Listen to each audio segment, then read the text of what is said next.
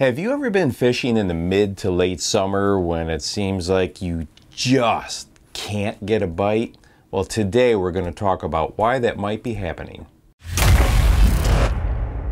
If you've been bass angling for a while, then you've probably heard the term thermocline. And if you haven't heard of it, well, we're going to talk about what it is and how it can affect your bass angling. So let's jump right into it. The dog days of summer have hit and that weather is just consistently hot day after day after day. We have bluebird skies.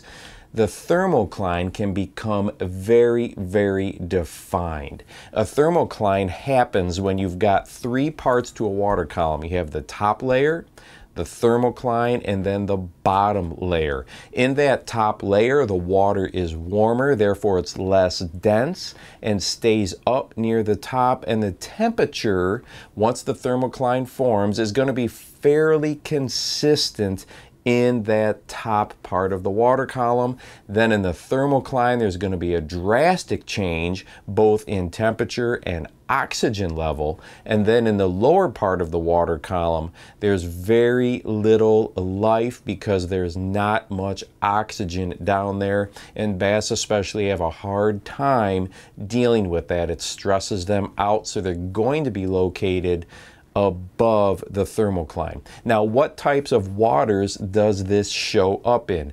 A thermocline will not show up in rivers and it's not going to show up in reservoirs that have really strong current to them. It's also going to be less likely to form in bodies of water where there is a ton of wind or lots of runoff because there's rain coming in all the time.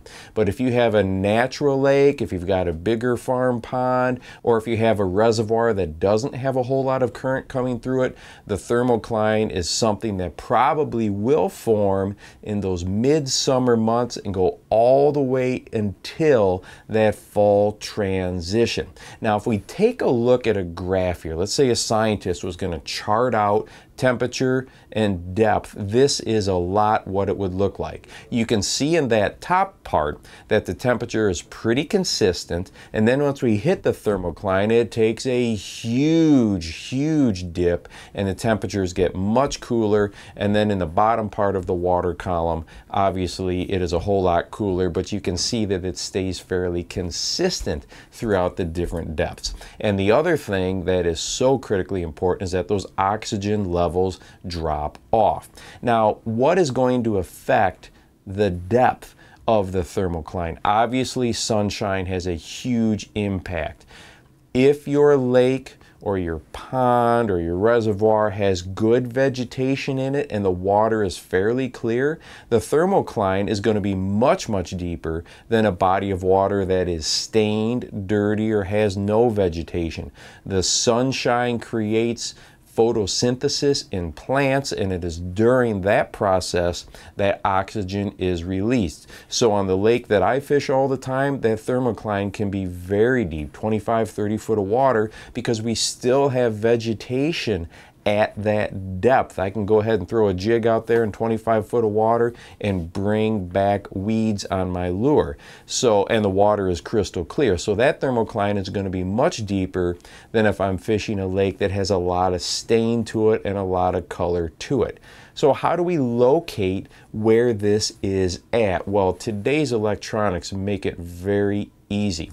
As we mentioned earlier, that top level of the water column is less dense and then it hits the thermocline and the density level drastically increases. You can actually see it on your electronics as just kind of a, a thin fuzzy band there on the screen. And if you're pretty sure that you've got stratification going on, on the lake or the water that you fish, but you don't see it on your electronics, go ahead and crank up that sensitivity level just a touch and it will probably show up.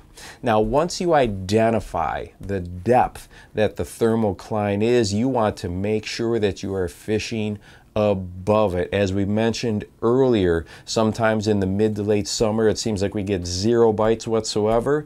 That often happens because as anglers, we have our lures down in the dead zone. We are too deep, we are below that thermocline. So once I've identified where it is, I like to kind of follow it on my map. If I'm looking at my topo map, and follow that thermocline to where it intersects some sort of structure or cover. Let's say, for example, a thermocline is sitting at 20 feet and I'm sitting on a long tapering point that just really drops off into deep water.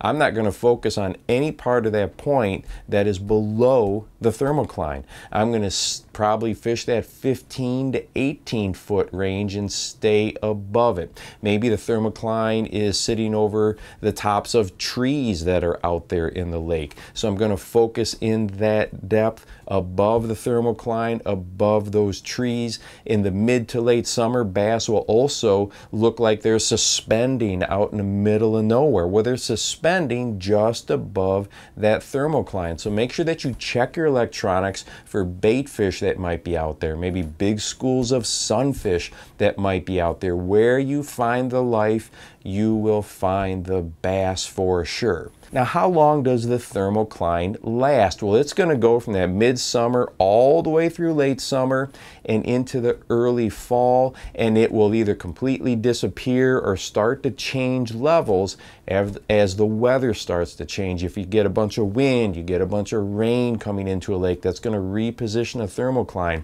And then as the days get shorter, the air temperature gets cooler, that top part of the water column is going to cool down, become more dense, and eventually they're going to flip.